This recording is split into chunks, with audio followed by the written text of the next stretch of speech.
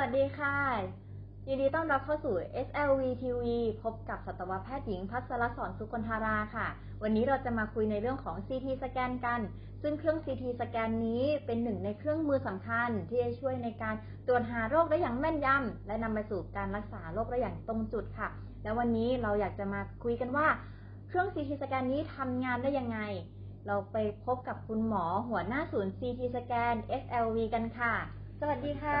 หมออ้ำนะครับ นายสัตวแพทย์ธนัตถ์ ธัชชนะชัยนะครับ ตอนนี้ทำงานเป็นหัวหน้าศูนย์เอ็กซเรย์คอมพิวเตอร์ประจำโรงพยาบาลสัตว์สวนหลวงสัตวแพทย์นะครับ ค่ะ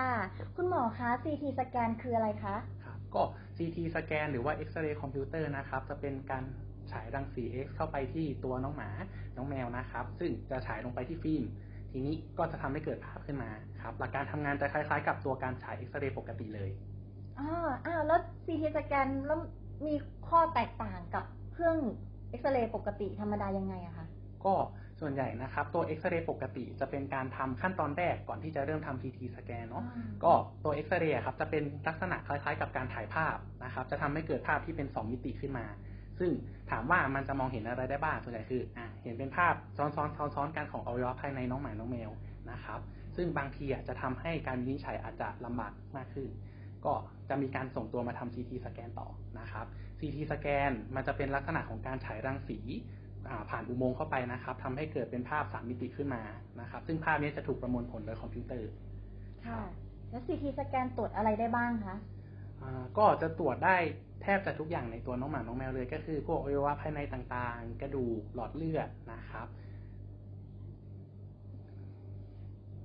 อ๋อหลายอย่างเลยนะคะใช่แล้วก็ทราบมาว่า CT สแกนเนี่ยหลายโรคจำเป็นที่จะต้องฉีดสารทึบรังสี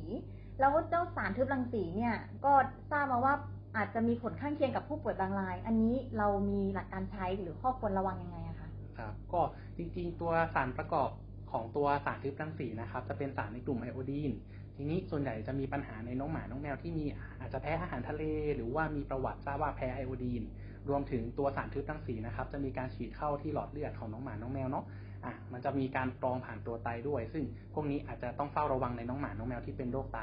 หลักๆหมอจะทำการตรวจเลือดตรวจร่างกายก่อนที่จะทำการ CT สแกนครับอ๋อต้องมีการตรวจอย่างดีก่อนนะใช่ที่จะเริ่มทำ CT สแกนกันใช่อ้าวแล้วแล้วเมื่อไหร่ถึงจะตรวจแล้วอะ ต้องมาทำแหละ CT สแกนเมื่อไหร่ถึงจะทำกันคะ ก็ส่วนใหญ่โรคที่จะเจอว่ามาทำ CT สแกนมักจะเป็นค่ะโรคที่เกี่ยวกับพวกกลุ่มก้อนเนื้อ พวกมะเร็งนะครับ หรือว่าเป็นพวกกระดูกที่ในเอ็กซเรย์ธรรมดาอาจจะมองยาก เช่นเป็นกระดูกเล็ก ๆนะครับ ซึ่งอ่าก่อนที่จะเริ่มทำอะครับ มักจะมีการเอ็กซเรย์หรืออัลตราซาวมาก่อนแล้ว ถามว่า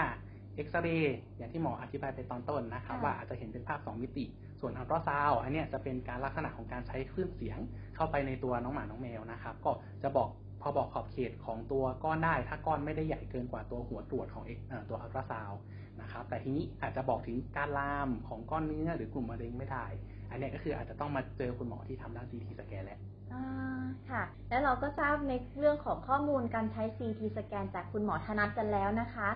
และถ้าน้องหมาน้องแมวของเราต้องการที่จะตรวจวินิจฉัยด้วย CT สแกนก็สามารถที่จะติดต่อศูนย์บริการ CT สแกนจาก SLV ได้ค่ะ ตามเบอร์โทรนี้นะคะ 0641241964 ค่ะ ขอบคุณหมออ้างหัวหน้าศูนย์ CT สแกนของ SLV ขอบคุณคุณผู้ฟัง และกลับมาพบกับ SLV TV ได้ใหม่ในตอนหน้านะคะสำหรับวันนี้สวัสดีค่ะ